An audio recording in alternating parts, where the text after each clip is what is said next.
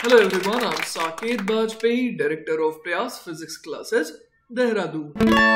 Welcome students, let's have a look at this beautiful problem from Herodov. The question says, two identical buggies, one and two with one man in each, move without friction due to inertia along the parallel rails towards each other. When the buggies get opposite each other, the men exchange their places by jumping in the direction perpendicular to the motion direction. As a consequence, buggy 1 stops and buggy 2 keeps moving in the same direction with its velocity becoming equal to v. Find the initial velocities of the buggies v1 and v2 if the mass of each buggy without a man equals capital M and the mass of each man small m.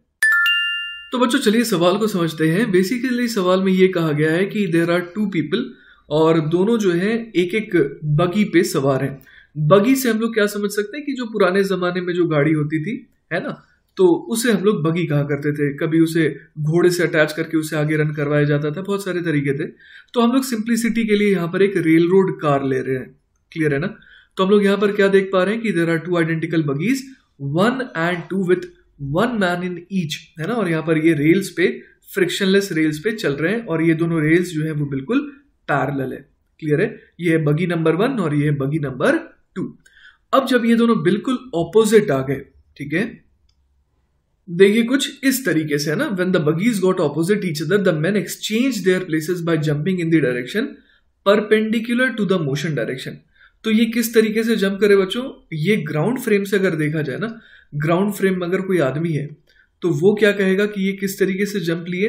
तो देखिए, उसको ऐसा लगेगा ना, इस इंसान को ऐसा लगेगा कि जैसे मान लीजिए कि मैं इस वाले इंसान के बारे में बात करूँ ना, जो सेकेंड नंबर वाली बगी में तो एक वेलोसिटी तो बच्चों इसके पास ऑलरेडी है है ना? एक वेलोसिटी इसके पास ऑलरेडी थी, जो कि लेफ़्ट की डायरेक्शन में थी बिकॉज़ ऑफ़ द बगी अब उसने जंप ले लिया परपेंडिकुलर टू द वेलोसिटी ताकि वो दूसरे पर छलांग लगा सके। तो ग्राउंड फ्रेम में इस इंसान के पास दो वेलोसिटी है है ना? इसी तरीके से हम लोग समझ सकते हैं कि जो दूसरा इंसान है, उसके पास भी वेलोसिटी के दो कंपोनेंट हो जाएँगे। एक तो बिकॉज़ बगी की मदद से उसके पास एक आगे की तरफ़ वेलोसिटी है और एक वेलोसिटी इसके पास परपेंडिकुलर टू द वेलोसिटी भी आ गई तो वही यहाँ लिखा है कि यहाँ पर क्या हुआ? The man exchange their places by jumping in the direction perpendicular to the motion direction as a consequence bogie one stops है ना? जो बगी वन है, वो तो बिल्कुल जैसे ही ये इंसान यहाँ पर आया, है ना? ये इंसान यहाँ पर जैसे ही आया तो वैसे ही क्या हो गया? ये जो बगी वन है, वो रुक गई, ठीक है? और बगी टू है ना? जैसे ही इंसान बगी वन से बगी टू में आया जंप करके तो क्या हुआ? Bogie two keeps moving in the same direction with its velocity becoming equal to V अब उसकी वेलोसिटी वी टू से बदल करके कितनी हो गई? वी हो गई। अब हमसे वी वन और वी टू पूछा गया है, और हमें क्या दिया हुआ है? बगी, खाली बगी का मास कैपिटल एम है और इंसान का मास स्मॉल है ठीक है? तो देखिए बच्चों, यहाँ पर मैंने डायग्राम्स में दिखा रखा है इनिशियल सिचुएशन और फाइनल सिचुएशन है ना? शुरुआत में जैसे स्मॉल एम और कैपिटल एम है ना? ये पूरा का पूरा सिस्टम वी वन से जा रहा था राइट की तरफ़ और small M plus capital M ये लेफ़्ट की तरफ़ वी टू से जा रहा था। आफ्टर दैट दे जम्प्ड है ना? और किस तरीके से जंप लिया इन्होंने? परपेंडिकुलर डायरेक्शन में जंप लिया, है ना? विथ रिस्पेक्ट टू ट्रॉली अगर बात करें तो ये परपेंडिकुलर डायरेक्शन में टू द वेलोसिटी ये ट्रैवल किए और एक दूसरे की जगहों को रिप्लेस कर दिए। तो फाइनली हमारे को ये डेटा दिया है कि ऊपर, है ना, जो V1 से जा रहा था वो अब रुक गया और जो V2 से जा रहा था वो V स्पीड से सेम डायरेक्शन में जाने लगा, ठीक है? तो चलिए बच्चों, अब हम लोग देखना चाहते हैं कि क्या होगा इस सिस्टम के साथ जैसे ही ये जो इंसान है, ये जंप करता है है ना? जैसे ही ये जंप कर रहा है तो हम लोगों को ये समझ में आ रहा है कि ये कूदना तो इस तरीके से चाह रहा है है ना? कूदना इस तरीके से चाह रहा है। But because of its own inertia है ना? इसके पास अभी भी एक फॉरवर्ड डायरेक्शन में वेलोसिटी रहेगी, है ना? क्योंकि ये पूरी की पूरी एफर्ट लगाया ऐसे कूदने में। तो हम लोग समझ पा रहे हैं कि जो इसके पास वेलोसिटी वी वन थी, वो तो अभी भी रहेगी इसके पास, है ना? तो हम लोग यहाँ पर देख पा रहे हैं कि जस्ट बिफोर द जंप इंसान का मोमेंटम कितना था? एम वन था। राइट की तरफ़ अगर मैं बात करूँ तो जस्ट बिफोर द जंप और आफ्टर द जंप अगर मैं बात करूँ तो इसके पास एक्स एक्सेस के लॉन्ग है ना, जो रेल रोड जो यहाँ पर रेल रोड कार की इनिशियल वेलोसिटी की डायरेक्शन है, उस डायरेक्शन को मैं एक्स एक्सेस कह रहा हूँ। तो उस डायरेक्शन की अगर मैं बात करूँ तो उस डायरेक्शन में इंसान के पास अभी भी कितना मोमेंटम है? एम वी वन ही है। क्योंकि उसने तो कोशिश करी बस एक्स्ट्रा ऐसे कूदने की। राइट वाली डायरेक्शन में तो उसने कुछ भी नहीं करा एफर्ट नहीं लगाया। तो वो जैसे जा रहा था, वैसे जाता रहेगा। अब आप देखिए इस पूरे के पूरे सिस्टम पर कोई भी एक्स एक्सिस के अलॉन्ग एक्सटर्नल फोर्स नहीं लग रहा है, क्योंकि जो जम यहाँ जो रेल यहाँ जो रेल है ना, वो फ्रिक्शनलेस है तो वो फ्रिक्शन लगा नहीं रही है। तो हम लोग समझ पा रहे हैं कि, और जैसा सवाल में भी दिया था, आप देख भी सकते हैं यहाँ पर कि यहाँ पर लिखा है कि they move without friction due to inertia along the parallel rails towards each other तो हम लोग यहाँ पर समझ पा रहे हैं कि ये बड़े स्मूथली आगे बढ़ रहे थे और बढ़ते भी रहेंगे, क्योंकि कोई फ्रिक्शन नहीं है। तो मेरा कंक्लूजन ये है बच्चों कि जब ये इंसान जंप करेगा तो उसकी वेलोसिटी अभी भी वी वन तो रहेगी ही एक्स एक्सिस के अलॉन्ग एक एक्स्ट्रा कॉम्पोनेंट ज़रूर आ जाएगा बिकॉज़ ऑफ़ द जंप तो इस वजह से बच्चों हम लोग ये देख सकते हैं कि अगर पूरे सिस्टम का, है ना, पूरे सिस्टम का अगर एक component that is small M अगर हम लोग ले तो अगर उसके मोमेंटम में चेंज नहीं आया है तो rest of the moment rest of the component जो कि क्या है, ये जो बगी है, उसके भी मोमेंटम में चेंज नहीं आएगा. In the direction of motion है ना? ये जो एक्स एक्सिस है, उसके अलॉन्ग में बात कर रहा हूँ। उस डायरेक्शन में कोई भी मोमेंटम में चेंज नहीं आ सकता है। तो इसका मतलब जैसे ही ये जो इंसान है ना, ये कूदेगा तो उसका मोमेंटम चूँकि एक्स एक्सिस के लॉन्ग चेंज नहीं किया तो बगी का भी मोमेंटम एक्स एक्सिस के लॉन्ग चेंज नहीं करेगा। ठीक है? मैं इमीडिएटली आफ्टर द जंप कह रहा हूँ। ठीक है? अभी मैं ये नहीं मान रहा हूँ कि ये जो दूसरा इंसान है, ये अभी इस तक पहुँचा है। है ना? इस समय दोनों इंसान हवा में है। तो उस समय की मैं बात बताऊँ तो हम लोग समझ सकते हैं कि ये दोनों बगीज जो है, उनकी स्पीड अभी भी कितनी रहेगी? उनकी स्पीड जो है, वो अभी भी उतनी ही रहेगी जितनी पहले थी। ठीक है? तो बच्चों, अब मैं बात करने वाला हूँ इस सिस्टम की, है ना? इस सिस्टम में क्या क्या चीज़ें हैं? एक तो ये इंसान नंबर टू है, जो बगी नंबर टू से आया है, और ये है बगी नंबर वन तो हम लोग अगर इसके बारे में बात करें तो जैसा सवाल में दिया है कि सिस्टम का मोमेंटम क्या हो गया? इस सिस्टम का मोमेंटम हो गया ज़ीरो तो इसका मतलब ये हो गया बच्चों, कि अगर इस समय सिस्टम का मोमेंटम ज़ीरो है है ना? तो हम लोग ये कह सकते हैं कि अगर मैं रेल रेल्स के पैरल के बारे में बात करूँ ना, उस डायरेक्शन के अलॉन्ग बात करूँ तो हम लोग समझ सकते हैं कि कोई भी अगर एक्सटर्नल फोर्स सिस्टम पर नहीं लग रहा है तो इसका मोमेंटम जो है है ना, ये क्या रहेगा? कंजर्व रहेगा. इसका मतलब अगर फाइनल मोमेंटम ज़ीरो है तो इनिशियल मोमेंटम इसी पर्टिकुलर सिस्टम का पैरल टू द रेल्स क्या हो रहना चाहिए था? ज़ीरो रहना चाहिए था, ठीक है? तो हम लोग आइडेंटिफाई करें कि इस सिस्टम के लिए, है ना, जो इनिशियल कॉम्पोनेंट्स है वो कहाँ कहाँ पर है? तो एक तो ये रहा, है ना, एक तो ये रहा बगी नंबर वन और इंसान नंबर टू यहाँ पर है।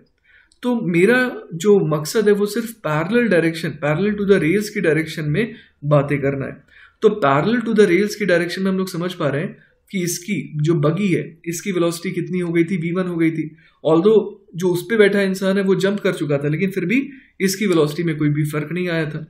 और अब मैं इंसान नंबर टू की बात करूँ तो ऑल ये जंप कर चुका है, पर इसकी वेलोसिटी जो लेफ़्ट की तरफ़ है, वो अभी भी कितनी है? वी टू है। क्योंकि उसने जंप ही कुछ इस तरीके से लगाया कि वो परपेंडिकुलर टू द है ना perpendicular to the initial velocity उसने जंप लगाया है। ना तो अपना एफर्ट उसने लगाया परपेंडिकुलर डायरेक्शन में तो लेफ़्ट की डायरेक्शन में तो कोई दिक्कत नहीं आई, वो तो एज इट इज़ रहेगा ही रहेगा। तो हम लोग यहाँ पर ये समझ पा रहे हैं कि इनिशियली ये जो सिस्टम मैंने चुना है, उसका मोमेंटम कितना था?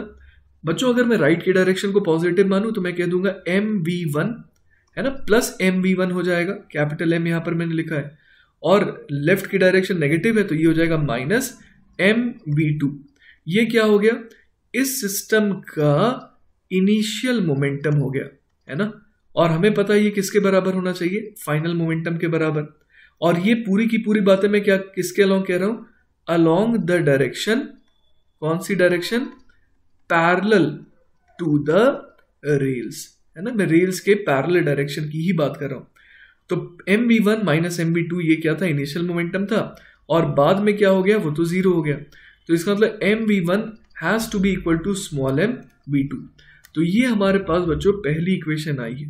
क्लियर है? So this is our equation number one तो बच्चों, अब मैं बात करना चाहता हूँ इस सिस्टम के बारे में ना, ये वाला जो सिस्टम है। इसके बारे में हम लोग क्या कह सकते हैं कि फाइनली इस सिस्टम का मोमेंटम कितना हो गया? इस सिस्टम का जो मोमेंटम है वो हो गया minus times M plus small M into V है ना माइनस साइन इसलिए क्योंकि मैंने लेफ़्ट की डायरेक्शन को नेगेटिव कहा है। तो यहाँ पर हम लोग देख पा रहे हैं कि ये इंसान नंबर वन है और ये बगी नंबर टू है। तो इंसान नंबर वन है ना, अगर इंसान नंबर वन की बात करूँ तो जब ये हवा में कूदते हुए आ रहा था तो इस इंसान के पास पैरल टू द रेस कितना मोमेंटम था? तो इंसान के पास पैरल टू द रेस जैसा हम लोगों ने डिस्कशन करा था, उसके पास मोमेंटम था एम इंटू वी वन तो यहाँ मैं लिख देता हूँ एम इंटू वी वन और उस समय है ना? हम लोग समझ पा रहे हैं कि ये जो बगी है, इसके ऊपर अब इंसान नहीं था। ठीक है? लेकिन फिर भी ये जो बगी है, ये लेफ़्ट की तरफ़ अभी भी जा रही थी वी टू से। तो हम लोग लिख सकते हैं कि इसके पास मोमेंटम कितना था? माइनस एम वी टू तो हम लोग यहाँ पर क्या लिख सकते हैं कि इनिशियल मोमेंटम बराबर फाइनल मोमेंटम क्योंकि अगेन सेम कहानी है कि पैरल टू द डायरेक्शन है ना? पैरल टू द डायरेक्शन जिस डायरेक्शन में ये दोनों शुरू में जा रहे थे that is parallel to the rails तो उस डायरेक्शन में हम लोग समझ पा रहे हैं कि कोई भी, है ना नेट एक्सटर्नल फोर्सेस सिस्टम पर नहीं लग रहा है। तो हम लोग क्या लिख सकते हैं? M V one minus M V two is equal to क्या हो जाएगा? Minus times M plus small M into V के बराबर। ठीक है? तो ये आ गई बच्चों हमारे पास इक्वेशन नंबर टू तो इक्वेशन नंबर वन और इक्वेशन नंबर टू को सॉल्व करके अब हम लोग कोशिश करेंगे वी वन और वी टू निकालने का। क्लियर ये बात? तो चलिए इन्हें सॉल्व करने की कोशिश करते हैं। ठीक है? तो जैसा कि हम लोग देख पा रहे हैं वी वन की वैल्यू को उठा करके हम लोग यहाँ पर भर सकते हैं। तो हम लोग क्या लिख सकते हैं? Small M into V one कितना हो जाएगा? तो वो हो जाएगा small M V two upon capital M ठीक है? Minus M V two is equal to क्या लिख देंगे? Minus of M plus small M times V तो हम लोग समझ पा रहे हैं कि यहाँ से हमारे को वी टू मिल जाना चाहिए, है ना? तो यहाँ पर हम लोग एलसीएम ले लेंगे अगर कैपिटल एम तो ये क्या बन जाएगा? ये बन जाएगा स्मॉल एम है ना? स्मॉल एम का square into V two minus capital M का square into V two again upon capital M तो ये इधर चला जाएगा। तो ये हो जाएगा minus capital M M plus small M into V ठीक है ना? तो यहाँ से देखिए हमारे पास वी टू आ जाएगा, है ना? तो यहाँ से हमारे पास वी टू कितना आ जाएगा? V two will be equal to capital M multiplied by M plus small M upon small V divided by यहाँ पर मैं लिख सकता हूँ कैपिटल एम का स्क्वायर माइनस स्मॉल एम का स्क्वायर, इसको फर्दर सिंप्लीफाई करा जा सकता है, क्योंकि A square minus B square is equal to A plus B into A minus B और ऊपर ए प्लस बी बना हुआ है। तो ये क्या बन जाएगा? एम वी अपॉन नीचे आ जाएगा सिर्फ़ और सिर्फ़ एम माइनस स्मॉल एम तो हम लोग क्या देख पा रहे हैं बच्चों की वी टू की वैल्यू है ना? वी टू की वैल्यू कितनी आ गई? M V upon capital M minus small M तो ये वी टू जो है वो हमने क्या निकाला? स्पीड निकाला, है ना? यहाँ पर ये क्या है? स्पीड है। अब बच्चों, अगर वेलोसिटी की बात करें तो v2 और v में क्या रिलेशन हो जाएगा? तो आप देखिए बच्चों यहाँ पर कि v2 भी लेफ़्ट में है और v भी लेफ़्ट में है। तो हम लोग समझ पा रहे हैं कि दोनों की जो डायरेक्शन है, वो सेम है। तो यहाँ पर हम लोग v2 वेक्टर बराबर क्या लिख सकते हैं? M V vector upon M minus small M ठीक है? इसके अलावा बच्चों, हम लोग ये देख सकते हैं कि अगर हमारे पास v2 आ गया तो हमारे पास v1 भी आ गया। तो v2 के आ जाने से v1 कितना आ जाएगा? V1 will be equal to small M V two upon capital M तो यहाँ पर हम लोग क्या लिख देंगे? V1 will be equal to small M है ना? यहाँ पर क्या लिख देंगे? देखिए v1 will be equal to small M V two upon capital M V two upon capital M तो यहाँ पर क्या आ जाएगा? Small M upon capital M V two हमारे पास कितना आया था? तो वो आया था M V upon M minus M ठीक है? अगेन ये वी वन तो स्पीड है। लेकिन v1 जो है वो v के ऑपोजिट है, जैसा कि आप देख सकते हैं यहाँ पर। है ना? V1 राइट की तरफ़ है, लेकिन v जो है लेफ़्ट की तरफ़ है। तो हम लोग जब फाइनल वेलोसिटी वेक्टर लिखेंगे तो क्या लिखेंगे? V1 vector is equal to देखिए यहाँ पर पहले तो m से m कैंसिल आउट हो गया। तो यहाँ पर लिख सकते हैं minus small M V vector upon capital M minus small M के बराबर। तो बच्चों, ये हो जाएगा हमारा फाइनल जवाब, है ना? तो बच्चों आई होप कि आपको ये सॉल्यूशन अच्छे से समझ में आया होगा। इन केस अगर कोई डाउट रह जाता है ना then feel free to contact me I be very happy to help you take care बच्चों. Bye bye